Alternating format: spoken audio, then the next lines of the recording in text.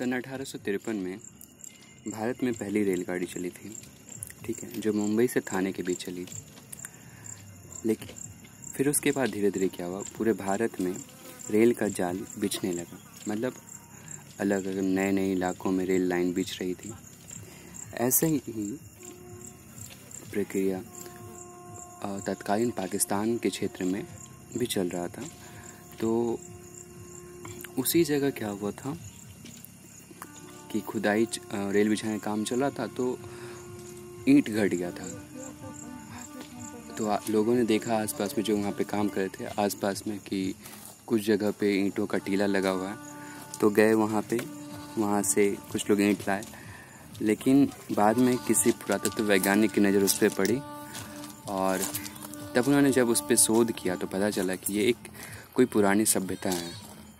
और बाद में जब उस पर और ज़्यादा रिसर्च वगैरह हुआ तो वो एक पूरी की मतलब एक विकसित सभ्यता थी। और चूँकि उसे हड़प्पा नामक जगह पर सबसे पहले खोजा गया था, इसलिए उसका नाम हड़प्पा सभ्यता रखा गया। बाद में उसका नाम और भी हुआ, जैसे सिंधु घाटी सभ्यता, और भी कुछ कुछ नाम रखे गए।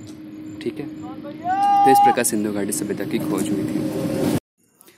यह भारतीय उपमहाद्वीप की एक कांस्य युगीन सभ्यता थी। ठीक है? और साथ साथ इसको आद्य ऐतिहासिक युग का भी माना जाता है, क्योंकि इस काल में जो लिपि पाई गई है, उसे अब तक पढ़ा नहीं गया है। ठीक है? और यह सभ्यता काफ़ी विकसित थी।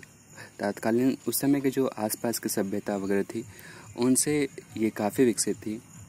यहाँ की नगर परि, वो नगर परियोजना वाल, जो है वो बहुत ही सुंदर, मत, उसमें क्या है, सड़कें जो है वो 90 डिग्री पे एक दूसरे को काटती है और साथ साथ नाली की व्यवस्था बहुत सुंदर है। कुछ जगहों पे बंदरगाह भी पाए गए हैं, जैसे लोथल, जो गुजरात में तत्कालीन है अभी हमारे देश में। फिर यह सभ्यता शुरुआत में मानी जाती थी कि तिकोनी है, पर अब इसे डायमंड शेप में माना जाता है। ठीक है। इसका विस्तार काफ़ी था। कह सकते हैं अभी तत्कालीन पश्चिम में बलूचिस्तान तक था।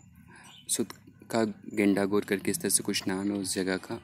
फिर उत्तर में दायमाबाद तक था। उत्तर में एग्जैक्ट मुझे पता नहीं, कश्मीर के क्षेत्रों में कहीं था तक फैलाव था उसका। फिर दक्षिण में महाराष्ट्र के आसपास के क्षेत्रों तक उसका फैलाव था।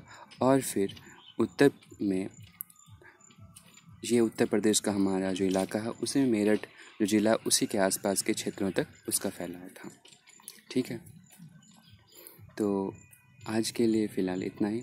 वैसे एक चीज़ और कहना चाहूँगा कि उस समय के मतलब दो प्रमुख बड़े बड़े नगर थे, मोहनजोदड़ो और फिर हड़प्पा। तो मोहनजोदड़ो को मृतकों का टीला के नाम से भी जाना जाता है। ठीक है? यहाँ पे ही सबसे बड़े अन्नागार और स्नानागार पाए गए हैं। ठीक है। अन्नागार, अन्न रखने के गोदाम होते हैं, ऐसा माना जाता था। और स्नानागार एक बहुत बड़ा तालाब जैसा था, जिसमें कि लोग नहाते थे। ठीक है। इस काल में प्रकृति पूजा का भी देखा जाता है कि लोग प्रकृति पूजा करते थे। साथ साथ एक मोहर पाया गया जिस पे कि एक मूर्ति है जिसे लोग पशुपति की मूर्ति मानते हैं, ठीक है? इस तरह से लोग कुछ लोग उसे शिव भगवान से भी जोड़ते हैं।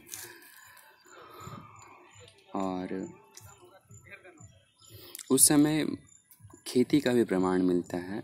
जैसे बहुत सारे क्षेत्र हैं, कुछ जगह पे हल का भी प्रमाण मिलता है और साथ ही साथ उस समय लोग दफनाए जाते थे। ये प्रमाण जो है, वो दो तीन कब्र मिले हैं, उसके, उससे पता चलता है। ठीक है?